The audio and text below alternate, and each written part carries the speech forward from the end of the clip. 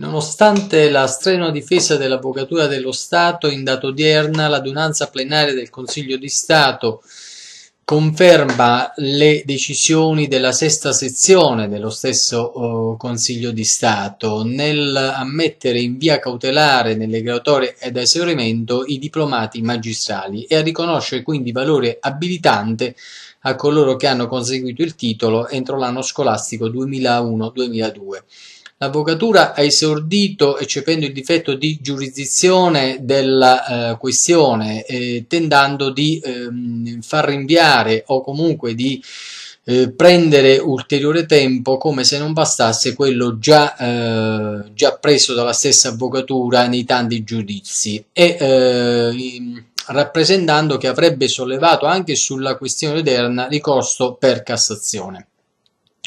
Nonostante eh, le eccezioni di merito relative al fatto che i ricorrenti avrebbero dovuto impugnare nel 2007 le suddette graduatorie, nonostante le eccezioni relative al, eh, diciamo all'affermazione che questo fosse un atto plurium e quindi non valevole erga omnes, l'adunanza plenaria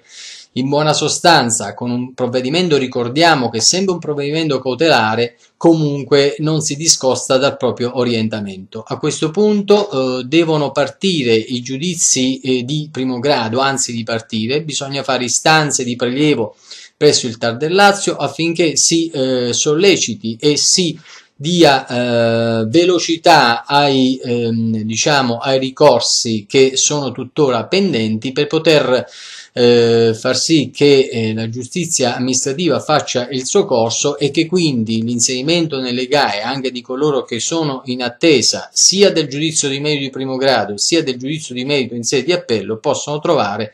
una equa eh, ristorazione del danno e eh, un conseguenziale inserimento nelle graduatorie ad esaurimento a pieno titolo con eh, necessaria immissione in ruolo degli aventi diritto.